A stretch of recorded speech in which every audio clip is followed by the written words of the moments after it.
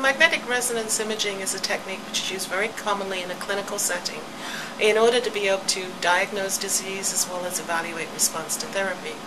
In the conventional sense, one usually looks at just the anatomy, uh, but in the methodologies that we're working on, we're trying to look at tissue metabolism and function in order to be able to understand uh, what happens in a cancer when a cancer progresses and also when a cancer responds to therapy. The uh, first application of this technique is to patients with prostate cancer. Um, it's very difficult right now because it's easy to um, find out that somebody may have a tumor, but it's not very easy to know whether it's going to be an aggressive tumor.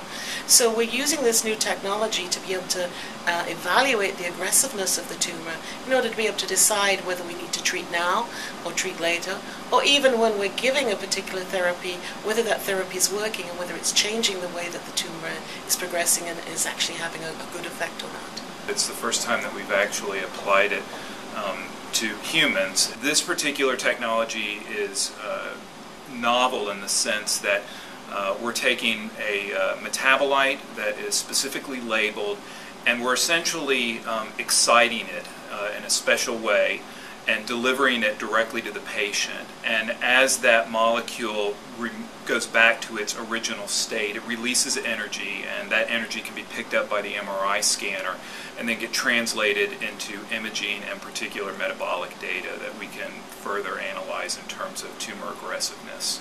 We actually place this uh, compound into a very strong magnetic field at a very, very low temperature for a given period of time. And then after that material is polarized, um, we're able to dissolve it into solution so that it can be injected into the patient. And the expiration date, so to speak, of this particular substance is very short on the order of seconds. So all of this takes place pretty rapidly. From the patient's perspective, uh, they're they don't really notice anything different from any other sorts of traditional MRI scans. They'll move into the MRI scanner room with an IV in place with some IV fluid. Um, they'll actually get placed into the MRI scanner where initial images will be taking place while we are finalizing and preparing the compound. And then when it's ready for administration, the patient's already in the MRI scanner it gets administered from the outside by the nurse. This happens over a period of minutes, and then after we're done acquiring the imaging, the patient gets pulled out of the MRI scanner, and then we just monitor some vital signs afterwards. That there are really four big parts of this technology which have required that a lot of different people come together. There's the, the first part, which is what is the disease, what is the biological process that is of interest, therefore what is the compound that you want to design and how would you design the experiment.